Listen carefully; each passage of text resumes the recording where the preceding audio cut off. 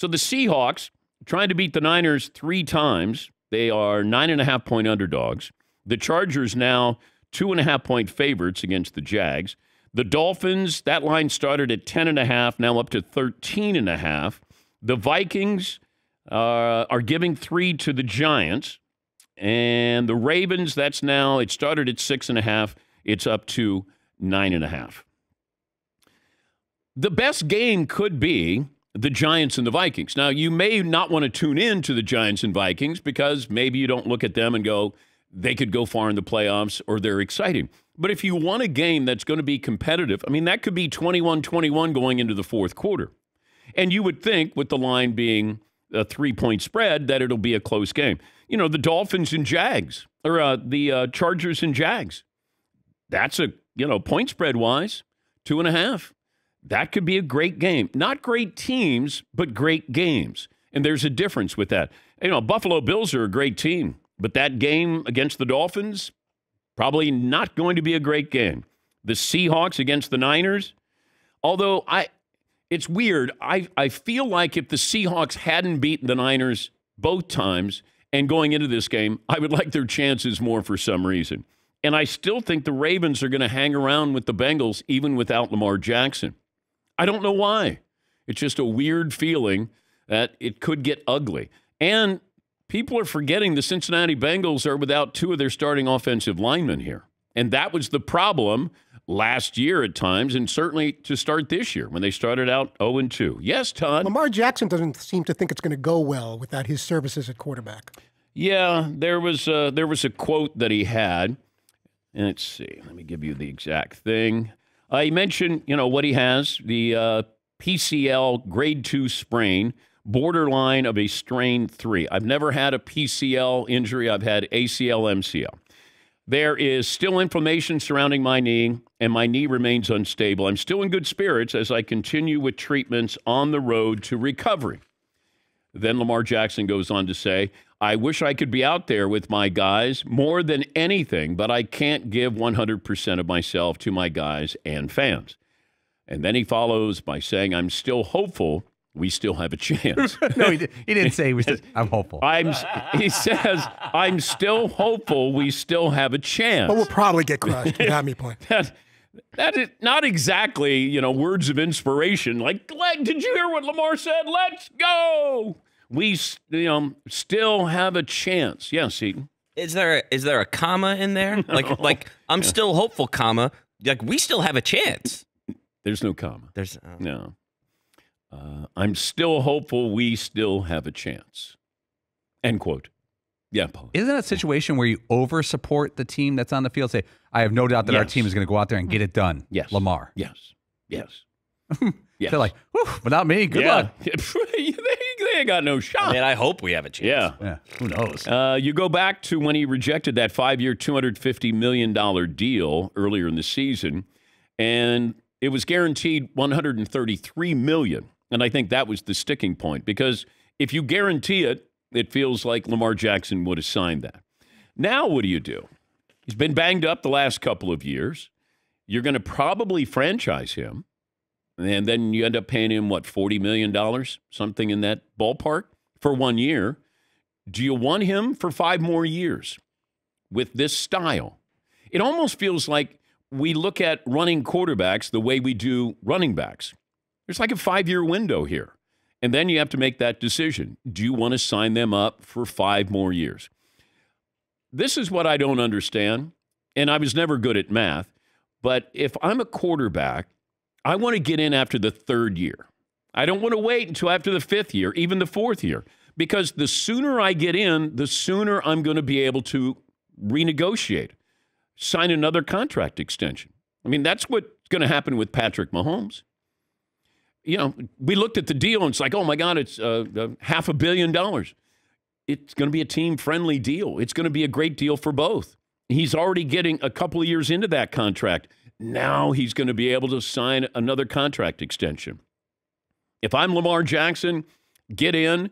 Now I'm in after three years. Now, I, now I'm already two years in now with that next contract. You bank 60 million? That's what I don't understand. I know everybody wants it guaranteed. And this started with Kirk Cousins.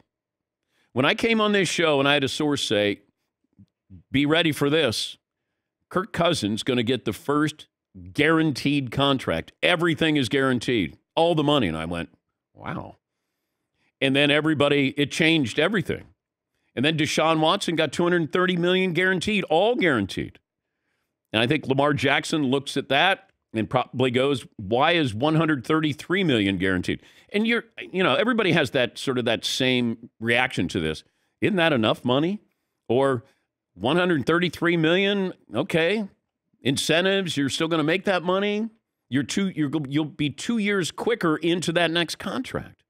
But if I'm Baltimore and I love the Lamar Jackson story, and it's not my money, it's not personal. I don't want to sign him for a five year deal now. Do I think he's using this as leverage? Do I think he's saying, I'm not going to risk this? I don't know. I, I, I have to be fair to him that he's got a knee injury, hasn't played in a while. But could he play? Says he won't be 100%. Well, you get to this point, who's 100%?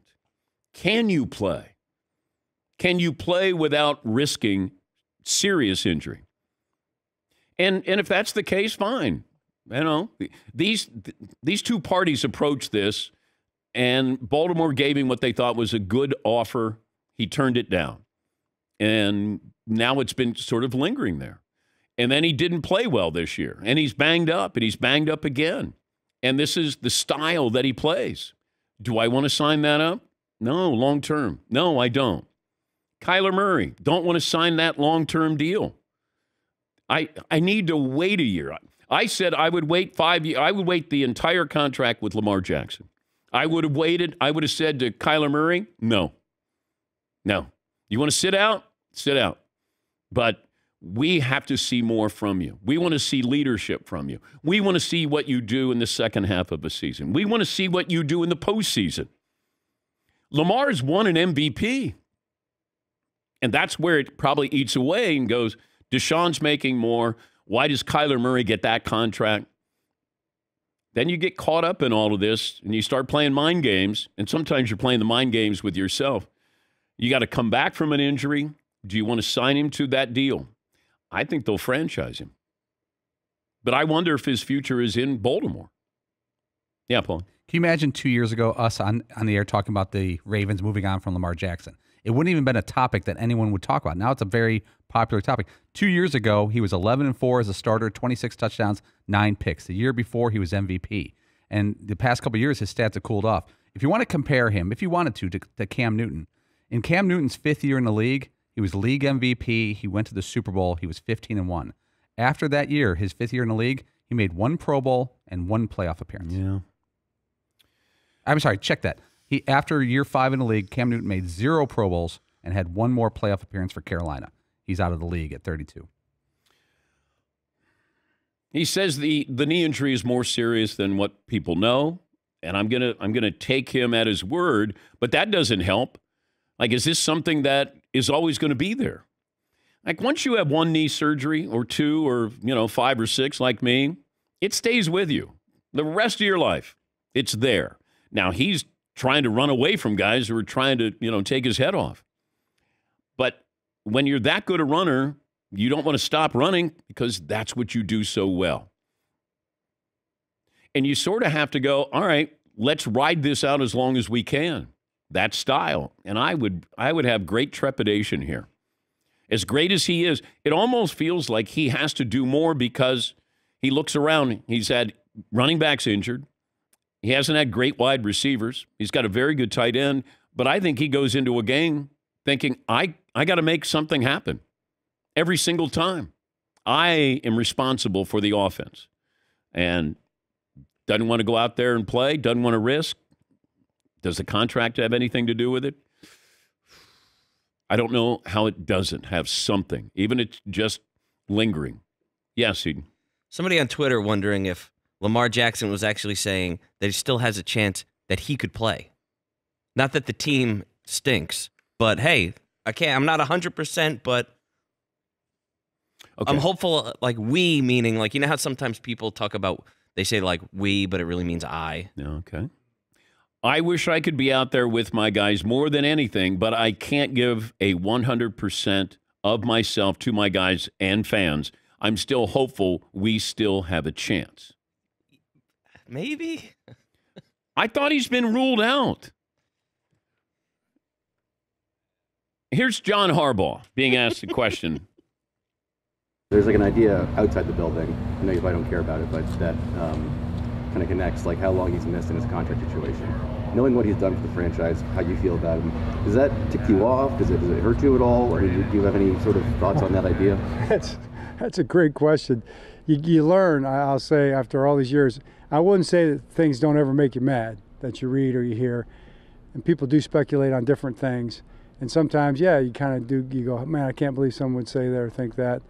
But uh, you try your best not to not to let it affect you emotionally. So, all that other stuff just becomes kind of noise, and you just try to just put it out of your mind. I don't know if he answered the question. and then you're laughing at a question like that. I don't know. Seems a little serious there. What's going on? And look, a lot of people speculated this. If if you know, do I want to go out there? I'm not 100. percent Could I go out there and play? Maybe, or I could be 60. I'd rather have him at 60 percent than somebody who is 100 percent. His backups. But we're probably not going to see that.